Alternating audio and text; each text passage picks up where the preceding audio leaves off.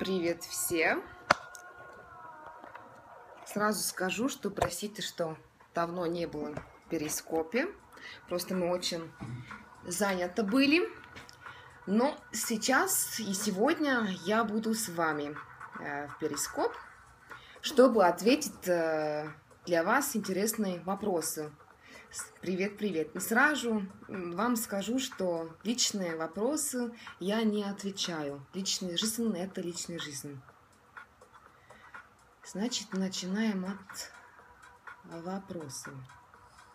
Но уже начинаются личные вопросы. Я сразу скажу, что вам смысл нету тратить свое время. Личные вопросы я не отвечаю. Почему? Даю вам хороший например. Три дня назад – смотрели передачи, которые вы все, наверное, посмотрели. Экстрасенсы ведут расследование. И я очень удивлена была, почему, потому что очень многие люди, они дали внимание для мой характер, наша работа, а не для ситуации, которые у эти люди были, э, горы, которые они пережили. И очень важно, что вы все, вы бы учили там что-нибудь, а не дали бы, как это правильно даже сказать, не бы дали внимание для неважные моменты, скажем так. Характер, да, классный. Начинаем тогда от э, вопроса. Почему, когда думаешь о плохом, она происходит, а когда о хорошем, она не происходит? Почему? Я вам объясняю. У нас уже, когда школьное время, мы школьная система нас учит. Вот если ты не учишь в школе хорошо, а тебе ничего не будет. Хотя бы у нас в Эстонии всегда так было. И когда мы уже взрослые, у нас э, появится внутренний страх. И от этого появится неуверенность в себе. Значит, если мы думаем о негатив, это очень сильная энергетика. И там мы не сомневаемся. А когда мы начинаем думать о хорошем, тогда начинаем сомневаться, мы это умеем или нет, это возможно или нет. И поэтому э, мы тянем вот этот негатив побыстрее себе рядом, чем позитив, потому что мы сами не уверены в себе. Так, след... самый интересный просто вопрос я вам отвечаю. Посмотрим следующий вопрос. У меня просто интернет очень медленно работает, как э, так, так, так. Ага, русский, про русский язык тут спросили, трудно ли у меня было учиться русский язык. Но русский язык по себе один из самых трудных языков, поэтому я бы не сказала, что это для меня легко было. У меня просто недавно, недавно была ситуация, где я просто с друзьями, мы были в природе, и там был маленький теленок. Сейчас э, я помню это слово. А я не знала, как это называется. Теленок. Просто я вижу, но, э, и хочу сказать, вот смотрите, какой милый теленок. И я просто сказала на своем русском языке дочка Вядина. Поэтому всякий бывает, но с этим мы учимся. Давай следующий вопрос. Вопросов, конечно, очень много. Я пыталась все читать. Очень много личных вопросов, но я их не отвечаю. Тут очень много спросили Саши на презентации книга. У него это 17 будет, у меня 18 -го. Пока вам не могу отвечать по поводу презентации книга. Я не знаю, где это время буду, либо в Эстонии, либо в Москве, поэтому это под вопросом сейчас когда выйдет новая книга. У меня сломалась ноутбук, там все мои файлы были, поэтому когда ноутбук опять у меня работает, э, тогда будет э, понятно. Так. Но наверняка книга все-таки у меня выйдет следующий год, потому что это очень большая работа и невозможно это так быстро сделать. Где-то следующие года она будет. Так. Во сколько лет появилась твоя первая татуировка? Я это время была ровно 20 лет. Но я очень, всех очень советую очень много раз подумать, прежде чем делать, потому что когда определенный возраст появится, понимаете, что вы хотите, в принципе, себе подтвердить что-нибудь, очень думает об этом. Второй раз я бы не сделала татуировки себе лично. Но это зависит от людей, потому что татуировки реально, они могут э, изменить э, судьба. И вы должны быть очень э, уверена в себе и очень аккуратно узнать, что вы себе делаете, потому что они реально изменит судьба человека. Хочется себе новая татуировка? Нет, у меня на шее есть татуировка, это хочу убрать. Поэтому ответ будет нет. Так, сейчас решу ваши вопросы.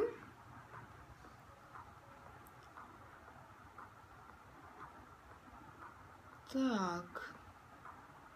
Что тебе мотивирует? Меня мотивируют э, люди и хорошая компания, я бы сказала. Негатив э, не принимаю, и а, что вот очень много людей тоже спросили от меня, что я умею ценить у людей. Это именно юмор, что мы бы смотрели, и жизнь через радость, они через печаль. Почему-то у многих людей она и есть, потому что вечно недовольные. Если мы бы пытались побольше это бы посмотреть, наша жизнь бы посмотреть э, через позитив, э, мы бы поняли, что все проблемы, которые мы думаем, что у нас есть, они на самом деле не существуют. Они все существуют тут, у нас в голове. Так, следующий вопрос был по поводу камни. Как выбирать себе любимый камень? Но это всегда повторяю, в принципе. Э, все не смотрите через э, знак зодиака, доверяйте сами себе. Например, сегодня у меня тут э, три разные камни, а это все зависит у меня от моего настроения. Утром, например, хочу я аметист, следующий день я хочу розовый кварц. Это через мои внутренние ощущения. И когда вы выбираете себе камни, это все должна происходить через внутренние ощущения. Потому что вы интуитивность, это всегда правильный выбор. Очень важно, чтобы вы бы никого бы не слушали, но слушали именно сами себе, потому что только вы знаете себе полностью. И никто вас э, не могут понять, как вы сами. Поэтому выбор всегда делайте сами. И через знак зодиака не посмотрите. Так. Ты читаешь фанфики про себя и про Сашу? Нет, я не читаю. Не читала и не читаю.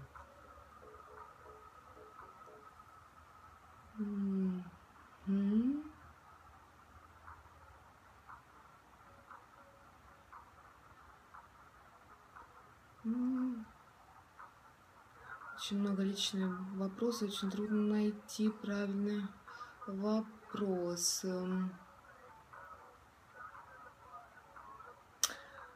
Кем бы ты хотела стать? Там маленькая была, врач хотела быть, и наверняка когда-нибудь я пойду еще учиться. Но я не знаю, что вы с этими информациями, как вы будете использовать в вашей жизни, это, конечно, но это будет э, ваш ответ. Так. Какой у вас любимый камень и почему? Мои самые любимые камень, а это, который у меня сегодня тоже на руках, это гранат. Это самый камень именно для женщин. Дает э, внутреннюю уверенность. И э, если поставите себе какой-то цель, э, вы пойдете побыстрее к цели. Для всех женщин я всегда советую именно тот камень, который не хватает вот этой уверенности в себе, они сомневаются, она поможет э, открывать э, себе для окружающий мир. Так.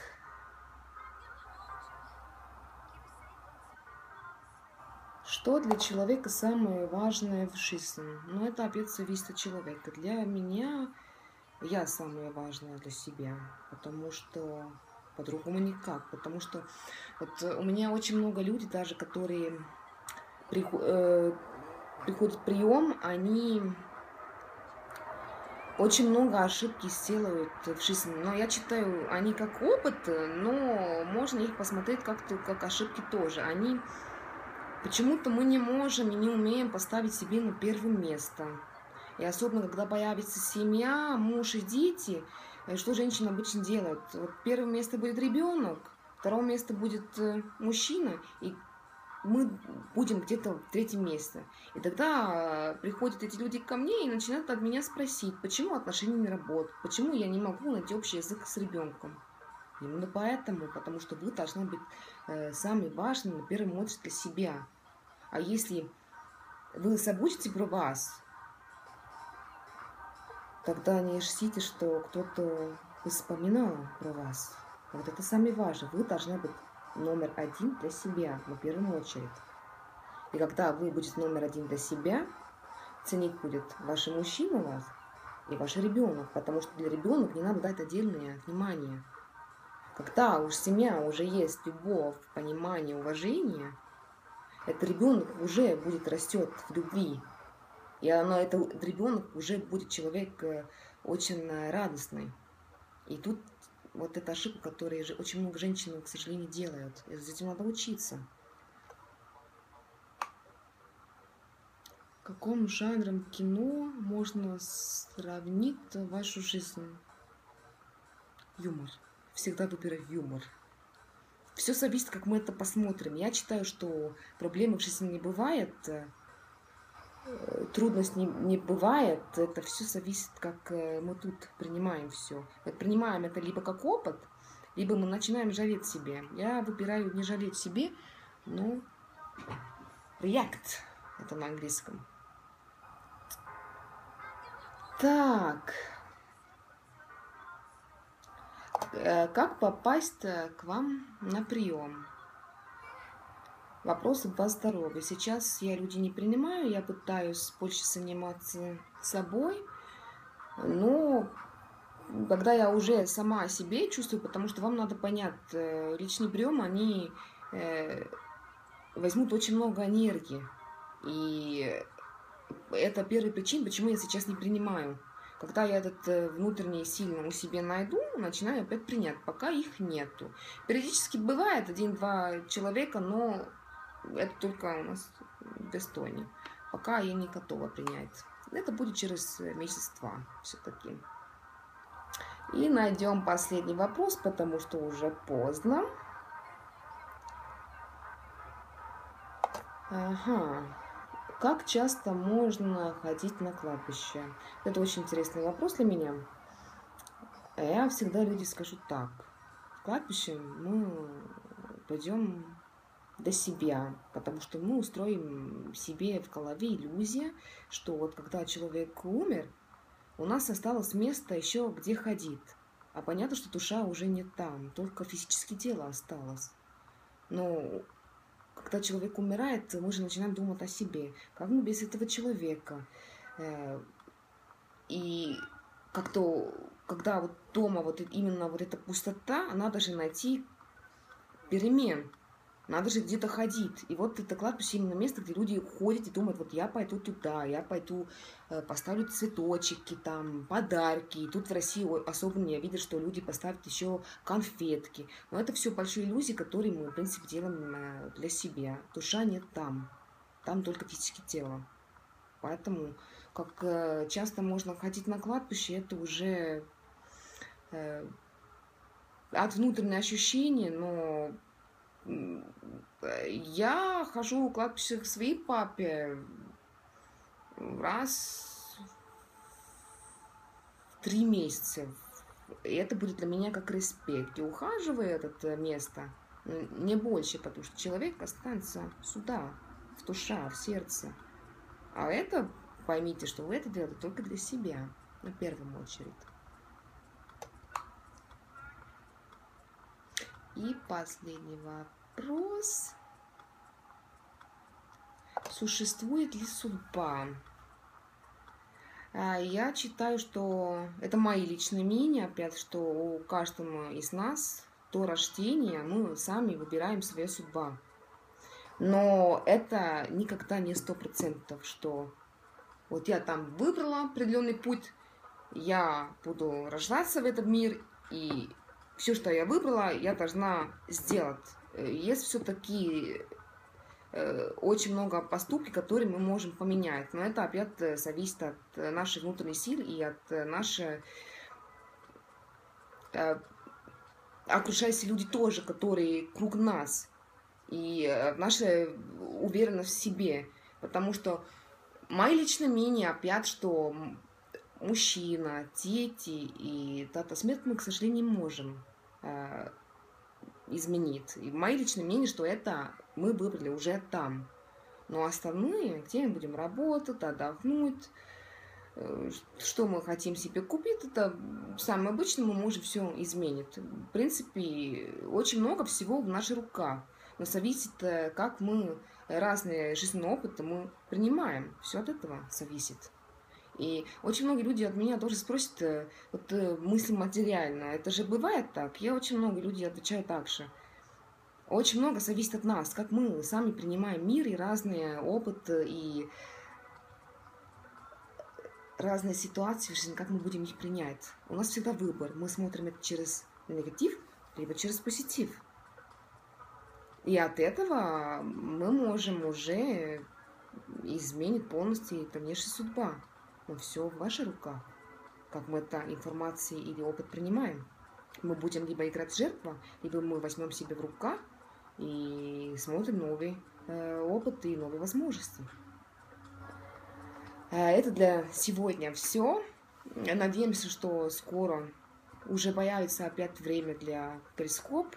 Э, и очень спрошу вам, вас э, не спросить личные вопросы. Я их принципиально уже не отвечаю, потому что это уже, простите меня, конечно, но это уже похоже на сказку, что вы очень многих э, придумает.